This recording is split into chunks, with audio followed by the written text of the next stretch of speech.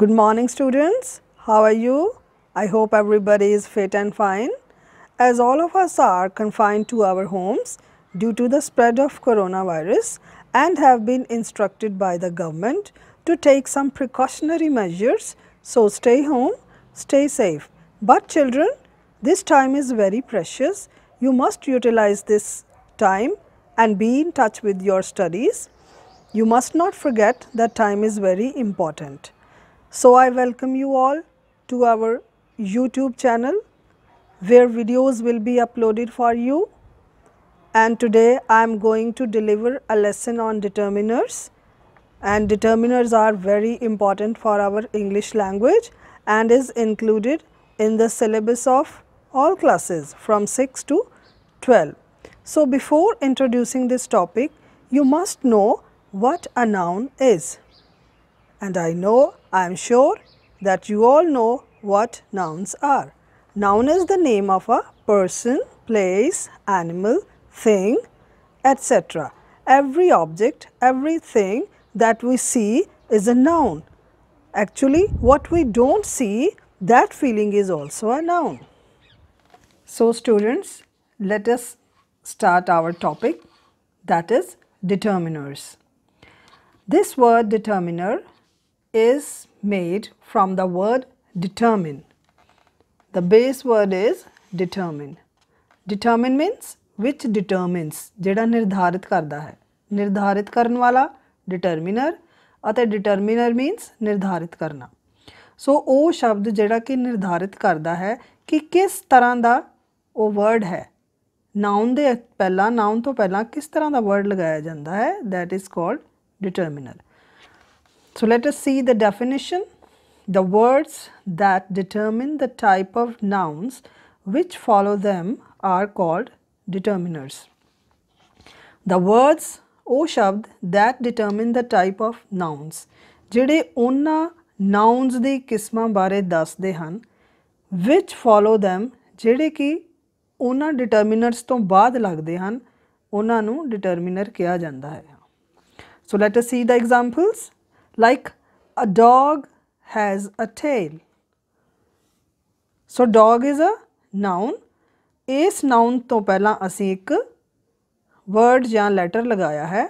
O a hai. A is an article and article is a determiner. Next sentence. This pen is good. Pen is a noun. The pen to pehla asi jada word lagaya that is this. this kiya this is also a determiner this word ਇਹ ਦੱਸ ਰਿਹਾ ਹੈ ਕਿ PAN ਜਿਹੜਾ ਹੈ ਉਹ ਕਿਸ ਤਰ੍ਹਾਂ ਦਾ ਪੈਨ ਹੈ ਜਾਂ ਕੀ ਹੈ this pen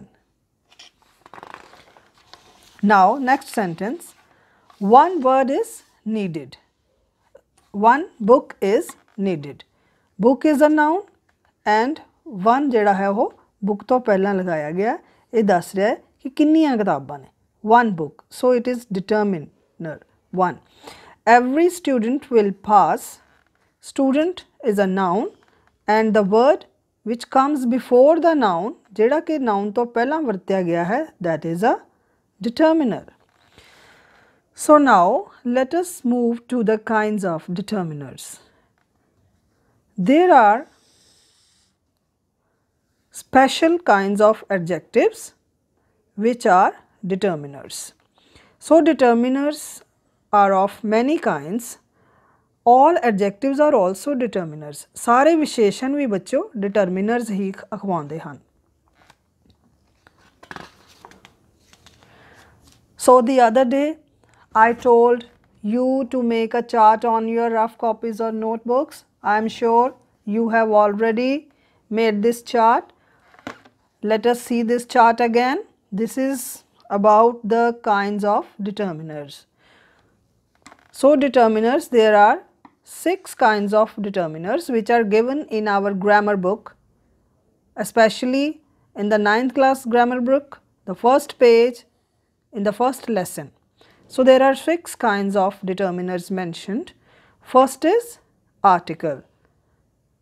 Everybody knows there are three kinds of articles, a and the. These articles are determiners. Next is demonstrative. Demonstrative means which point out, show karna, ਦਿਖਾਉਣਾ.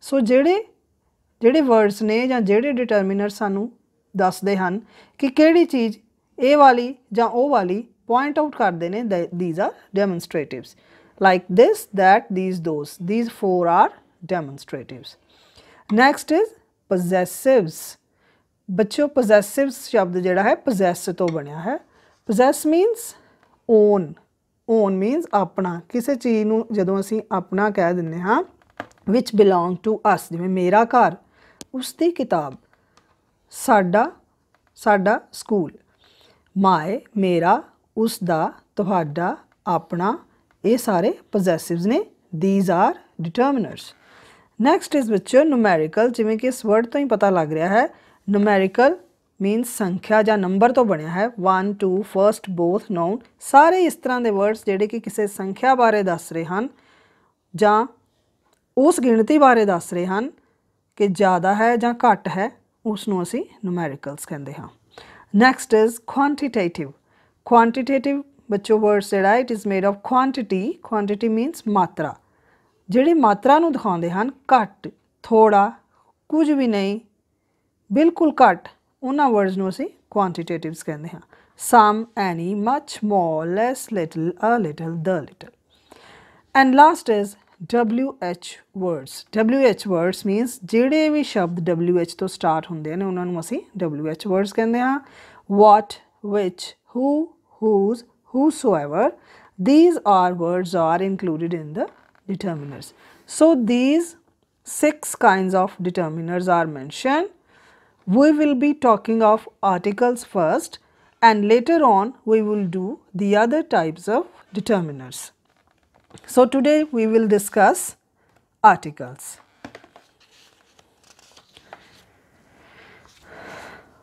Okay children, let us have a look how the articles are used.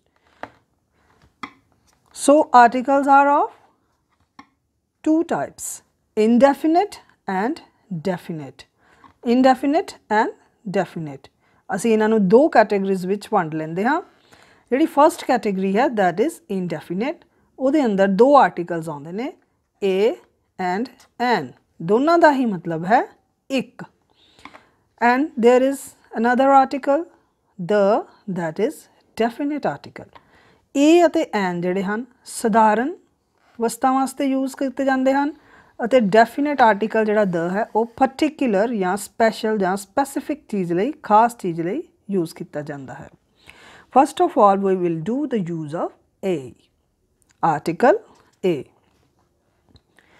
So number 1 a is used before singular common noun singular ਇੱਕ ਵਚਨ common ਸਧਾਰਨ ਨਾਮ ਜਿਹੜੇ ਕਿ ਸਧਾਰਨ ਹੁੰਦੇ ਹਨ in a general form general form means ਸਭ ਲਈ ਵਰਤਿਆ ਜਾਂਦਾ ਹੈ ਸਧਾਰਨ ਤੌਰ ਤੇ ਸਧਾਰਨ ਰੂਪ ਦੇ ਵਿੱਚ ਜਾਂ ਕਿਸੇ ਸਧਾਰਨ ਚੀਜ਼ ਨੂੰ ਦਿਖਾਉਂਦਾ ਹੋਇਆ ਇੱਕ ਸਧਾਰਨ ਨਾਮ ਜਿਹੜਾ ਹੁੰਦਾ ਹੈ ਉਸ ਤੋਂ ਪਹਿਲਾਂ ਅਸੀਂ ਏ ਦੀ ਵਰਤੋਂ ਕਰਦੇ ਹਾਂ ਬੱਚੋ ਐਨੀ ਕੋਈ ਵੀ ਚੀਜ਼ ਜਿਹੜੀ ਹੈ ਉਹ ਤੋਂ ਪਹਿਲਾਂ ਅਸੀਂ ਏ ਯੂਜ਼ ਕਰਦੇ ਹਾਂ ਜਿਵੇਂ ਡਾਕਟਰ ਹੈ ਸਾਰਿਆਂ ਲਈ ਸਧਾਰਨ ਹੈ ਜਨਰਲ ਹੈ ਇੱਕ ਹੈ ਅ ਡਾਕਟਰ ਪੈਨ ਸਧਾਰਨ ਹੈ ਇੱਕ ਵਸਤੂ ਹੈ ਅ ਪੈਨ ਯੂਰੋਪੀਅਨ ਇੱਕ ਹੈ a European ਤਾਂ ਜਿਹੜੇ ਵੀ ਸਿੰਗੂਲਰ ਕਾਊਂਟੇਬਲ ਨਾਉਨਸ ਹੁੰਦੇ ਹਨ ਉਸ ਤੋਂ ਪਹਿਲਾਂ ਜਿਹੜਾ ਵਰਡ ਯੂਜ਼ ਹੁੰਦਾ ਹੈ ਉਹਨੂੰ ਅਸੀਂ ਏ ਉੱਥੇ ਅਸੀਂ ਏ ਦੀ ਵਰਤੋਂ ਕਰਦੇ ਹਾਂ ਸਿੰਗੂਲਰ ਮੀਨਸ ਇਕਵਚਨ ਕਾਊਂਟੇਬਲ ਮੀਨਸ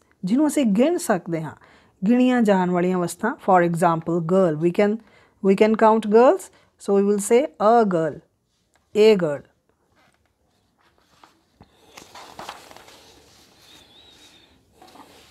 ਆਲਸੋ ਜਿਹੜੇ ਇਨਡੈਫੀਨਿਟ ਆਰਟੀਕਲਸ ਏ ਅਤੇ ਐਨ ਹੁੰਦੇ ਹਨ it generally does not point out any particular person place or thing a ਅਤੇ ਐਨ ਆਰਟੀਕਲ ਜਿਹੜੇ ਹਨ ਉਹ ਕਿਸੇ ਵੀ ਖਾਸ ਚੀਜ਼ ਵਾਸਤੇ ਜਾਂ ਖਾਸ ਸਥਾਨ ਵਾਸਤੇ ਜਾਂ ਖਾਸ ਵਿਅਕਤੀ ਲਈ ਨਹੀਂ ਵਰਤੇ ਜਾਂਦੇ ਇਹ ਕਿਸੇ ਖਾਸ ਵਸਤੂ ਵਿਅਕਤੀ ਜਾਂ ਜਗ੍ਹਾ ਬਾਰੇ ਨਹੀਂ ਦੱਸਦੇ ਜਿਵੇਂ ਇੱਕ ਪੈਨ ਇੱਕ ਪੈਨ ਮੀਨਸ ਕੋਈ ਵੀ ਪੈਨ ਸਧਾਰਨ ਪੈਨ ਕੋਈ ਖਾਸ ਪੈਨ ਨਹੀਂ ਬਟ ਜਦੋਂ ਅਸੀਂ ਕਿਸੇ ਖਾਸ ਦੀ ਗੱਲ ਕਰਨੀ ਹੈ ਤਾਂ ਅਸੀਂ ਦ ਯੂਜ਼ ਕਰਨਾ ਉਹ ਵਾਲਾ ਪੈਨ ਜਿਹੜਾ ਕੋਈ ਖਾਸ ਹੈ so now you must be clear that a ਅਤੇ ਐਨ ਜਿਹੜੇ ਹਨ ਇਹਦਾ ਮਤਲਬ ਇੱਕ ਹੈ ਅਤੇ ਇੱਕ ਸਧਾਰਨ ਵਸਤੂ ਲਈ ਯੂਜ਼ ਕੀਤੇ ਜਾਂਦੇ ਹਨ so articles indicate the coming of a noun articles ਤੋਂ ਭਾਵ ਹੈ ਇਸ ਚੀਜ਼ ਦੀ ਸੂਚਨਾ ਦਿੰਦੇ ਹਨ ਕਿ ਇਸ ਤੋਂ ਬਾਅਦ ਕੀ ਆਣਾ ਹੈ ਇੱਕ noun ਆਣਾ ਹੈ it means that an article precedes a noun precedes means ਪਹਿਲਾਂ ਆਉਂਦਾ ਹੈ ਆਰਟੀਕਲ ਇੱਕ ਨਾਉਨ ਤੋਂ ਪਹਿਲਾਂ ਆਉਂਦਾ ਹੈ now we will talk of use of an ਬੱਚੋ ਹੁਣ ਅਸੀਂ ਗੱਲ ਕਰਾਂਗੇ ਐਨ ਦੀ ਵਰਤੋਂ ਕਿਵੇਂ ਕੀਤੀ ਜਾਂਦੀ ਹੈ ਸੋ ਐਨ ਦਾ ਮਤਲਬ ਜਿਵੇਂ ਤੁਹਾਨੂੰ ਮੈਂ ਪਹਿਲਾਂ ਹੀ ਦੱਸਿਆ ਹੈ ਇਟ ਮੀਨਸ ਏ ਮੀਨਸ ਇੱਕ ਐਨ ਮੀਨਸ ਇੱਕ So, ਇੱਕ ਚੀਜ਼ ਲਈ ਵਰਤਿਆ ਜਾਣ ਵਾਲਾ so it is used common noun with vowel sound vowel sound it is to be it is to be noted down that before a vowel sound only we use an not before a consonant sound so first of all you must know what is a consonant sound and what is a vowel sound so there are how many vowels are there in english language five very good a E, I, O, U. These are vowels. And vowel sounds. Vowel sounds kariya hundiyane. No children, children, vowel sounds are different from vowels. Vowel sounds are just open your mouth and make a sound. Open your mouth. A, A, E, O, U, A, E. U ਦੀ sound ਜਿਹੜੀ ਆ ਉਹਦੇ ਵਿੱਚ included ਨਹੀਂ ਹੈ because the tongue is in lying position and it can't make a sound of u it can make a sound of u only so ਜਿਹੜੇ ਵੀ ਆ ਏ ਈ ਓ ਈ ਐ ਵਿਅੰਜਨ ਅੱਖਰ ਹੁੰਦੇ ਨੇ ਇਹਨਾਂ ਨੂੰ ਅਸੀਂ ਵਾਵਲ ਸਾਊਂਡਸ ਕਹਿੰਦੇ ਹਨ ਇਹਦੇ ਵਿੱਚ ਯ ਯਯਾ ਸਾਊਂਡ ਜਿਹੜੀ ਆ ਉਹਦੇ ਵਿੱਚ ਇਨਕਲੂਡਡ ਨਹੀਂ ਹੈ so vowel is so an is used before a vowel sound only, not before a vowel but vowel sound. So there are, now there are examples. I eat an orange. Orange which you you have to see in Punjabi. Punjabi de ਵਿੱਚ ਇਸ ਸ਼ਬਦ ਜਿਹੜਾ ਹੈ ਲਿਖਿਆ orange ਕਿਵੇਂ ਤੁਸੀਂ ਇਹਨੂੰ ਪੜੋਗੇ ਐੜੇ ਨੂੰ ਕਨੌੜਾ ਇੱਥੋਂ ਸ਼ੁਰੂ ਹੋਏਗਾ orange Punjabi 'ਚ ਤੁਸੀਂ ਦੇਖੋ ਔ ਸ਼ਬਦ ਆ ਰਿਹਾ ਹੈ ਔ ਸਾਊਂਡ ਹੈ ਤੋ it means we shall fill the blank with the article an I need an umbrella ਇਥੇ ਫਿਰ ਐੜਾ ਸਾਊਂਡ ਜਿਹੜੀ ਉਹ ਆ ਰਹੀ ਹੈ ਅੰਬ੍ਰੈਲਾ ਤਾਂ ਅਸੀਂ ਐਨ ਦੀ ਵਰਤੋਂ ਕਰਾਂਗੇ he is an S D O okay children is this an is this a vowel no it's a vowel sound S how will you write S ਐੜੇ ਨੂੰ ਦਿਲਾਵਾ ਅਦਕ ਸਸਾ ਥਿਸ ਇਜ਼ ਐਸ ਤਾਂ ਸਾਊਂਡ ਜਿਹੜੀ ਹੈ ਐੜੇ ਦੀ ਹੈ ਇਸ ਲਈ ਅਸੀਂ ਐਨ ਦੀ ਵਰਤੋਂ ਕੀਤੀ ਹੈ an S D also before a common noun beginning with silent H silent H where the sound of H is silent ਜਿੱਥੇ ਐਚ ਜਿਹੜਾ ਹੈ ਉਹ ਨਹੀਂ ਬੋਲਿਆ ਜਾਂਦਾ ਜਿਸ ਦੀ ਸਾਊਂਡ ਨਹੀਂ ਹੁੰਦੀ ਤਾਂ ਉਹਨੂੰ ਅਸੀਂ ਡਿਲੀਟ ਕਰ ਦਿੰਨੇ ਆ ਉਸ ਸਾਊਂਡ ਨੂੰ तो नैक्सट वर्ड देखा जाए तो वह की बनेगा vowel sound honest how will you pronounce this word honest ना कि हॉनैसट सो ऑनैसट जोड़ा है जो ऐड आ साउंड बन गई तो उस तो पहल असी एन लगावे next the train is late by an hour this is the word hour because H जड़ा है फिर साइलेंट है आवर मीनस घंटा तो फिर असी because this is vowel sound so we will use and before this vowel sound. So children we all know there are 5 vowels and 21 consonants.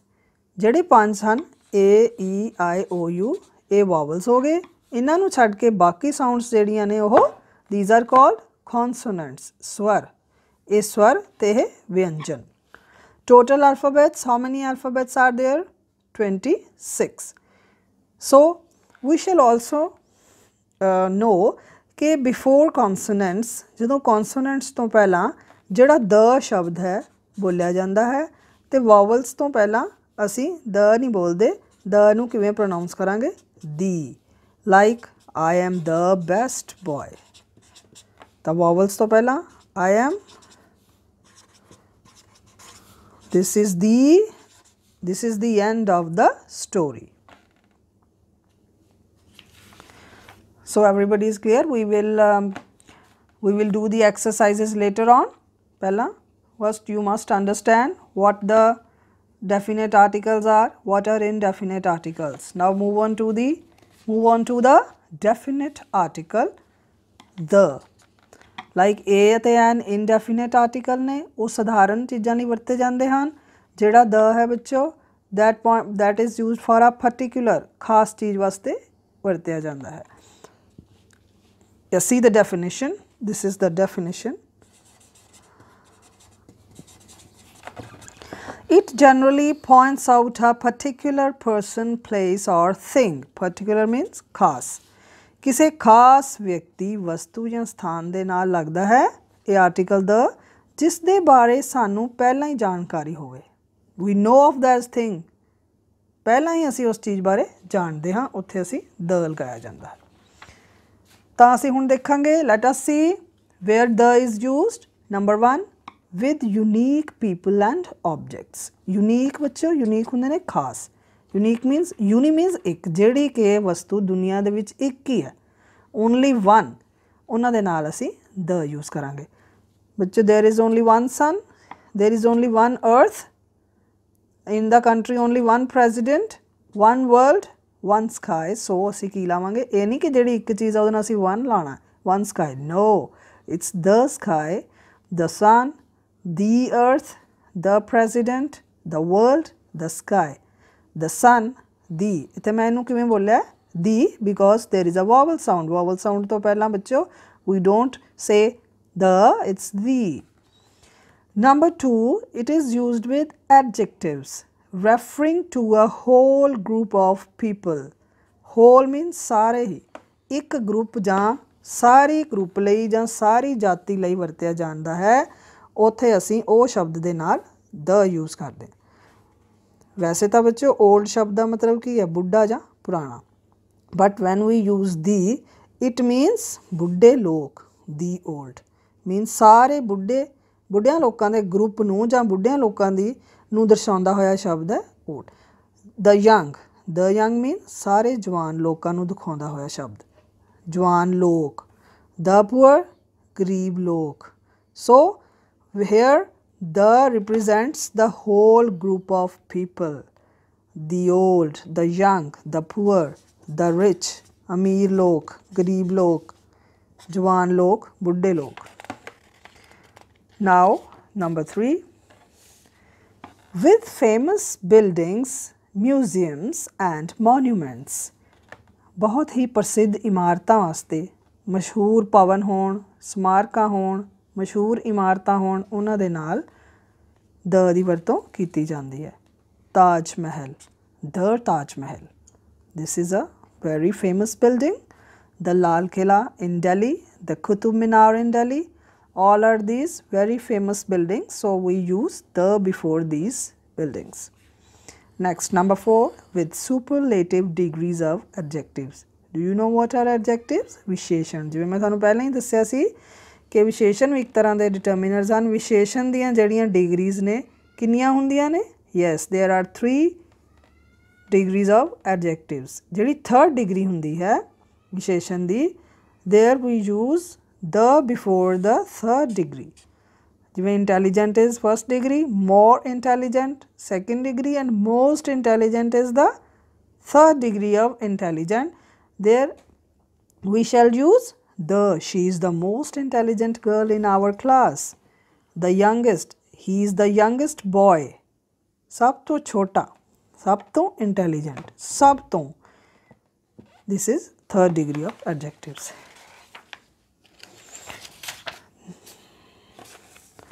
Now number five with ordinal numbers. What are ordinal numbers?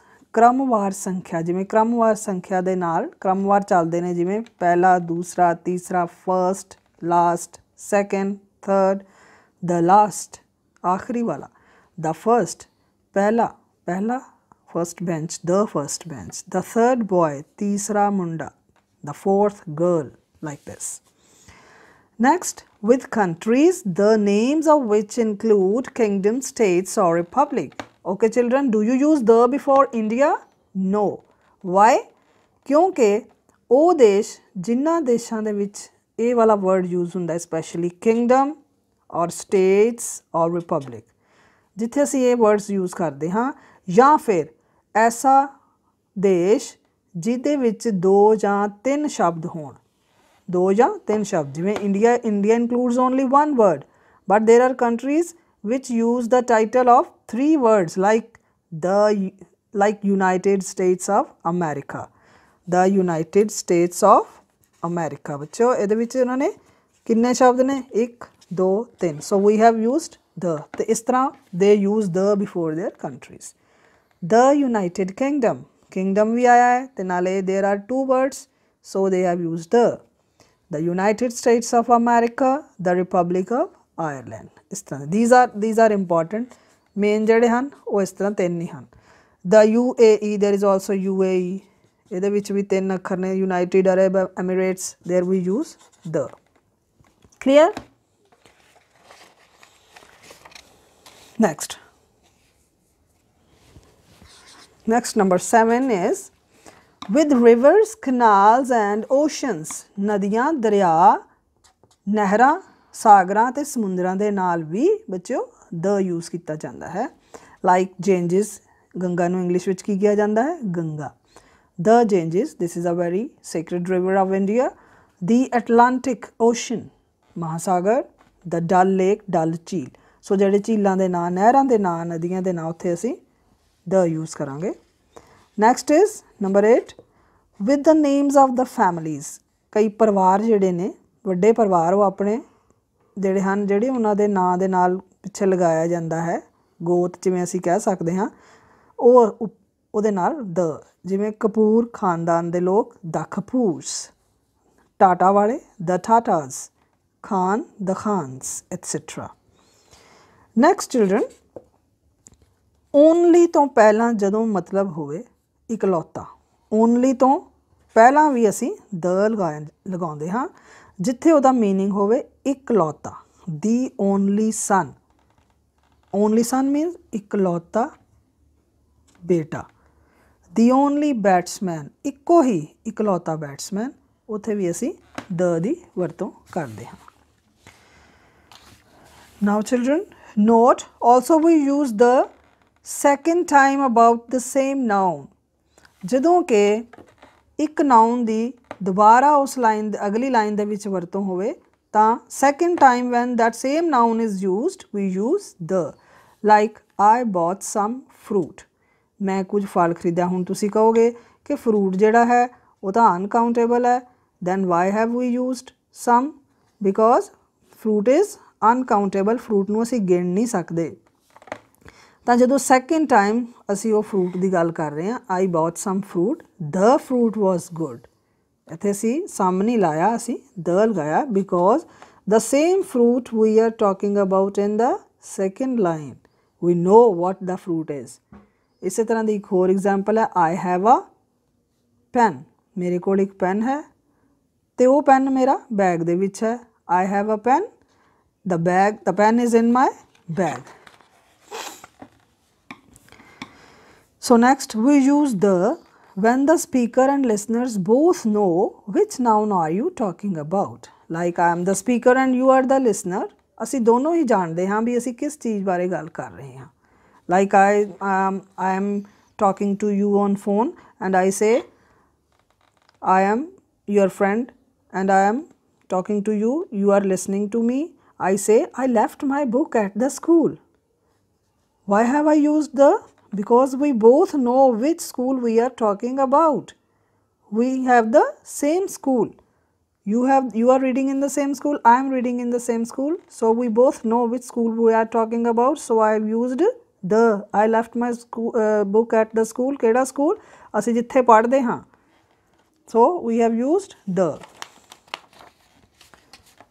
Now there is one more point W H O L whole whole means ਸਾਰਾ ਹੀ hole ਤੋਂ ਬਾਅਦ ਦ ਲਗਾਇਆ ਜਾਂਦਾ ਹੈ ਆਲ ਤੋਂ ਬਾਅਦ hole ਤੋਂ ਪਹਿਲਾਂ ਅਤੇ ਆਲ ਤੋਂ ਬਾਅਦ ਜਿਵੇਂ ਸਾਰੀਆਂ ਕਿਤਾਬਾਂ all the books this is very important ਔਰ ਸਾਰੀਆਂ ਕਲਾਸਿਸ ਦੇ ਵਿੱਚ ਇਹ ਐਕਸਰਸਾਈਜ਼ ਜਿਹੜਾ ਪੇਪਰਾਂ 'ਚ ਵੀ ਬਹੁਤ ਵਾਰ ਰਿਪੀਟ ਹੁੰਦਾ ਹੈ ਆਲ ਦਾ ਬੁక్స్ ਆਲ ਦਾ ਬॉयਜ਼ ਆਲ ਦਾ ਗਰਲਸ ਤੇ ਜਿਹੜਾ ਹੋਲ ਸ਼ਬਦ ਦੇ ਵਿੱਚ ਹੋਲ ਤੋਂ ਪਹਿਲਾਂ ਅਸੀਂ ਦ ਦੀ ਵਰਤੋਂ ਕਰਦੇ ਹਾਂ ਸਾਰਾ the whole world now there are points where we don't use the ਕੁਝ ਸ਼ਬਦ ਜਿਹੇ ਨੇ ਜਿੱਥੇ ਦ ਦੀ ਵਰਤੋਂ ਨਹੀਂ ਕੀਤੀ ਜਾਂਦੀ number 1 before the name of disease ਕੋਈ ਬਿਮਾਰੀ ਹੈ ਉਸ ਤੋਂ ਪਹਿਲਾਂ ਅਸੀਂ ਜਿਵੇਂ ਮਲੇਰੀਆ ਕੋਲਰਾ ਨਾਓ ਕਰੋਨਾ ਅਸੀਂ ਇਹ ਨਹੀਂ ਕਹਿੰਦੇ the corona the malaria the ਕੋਲਰਾ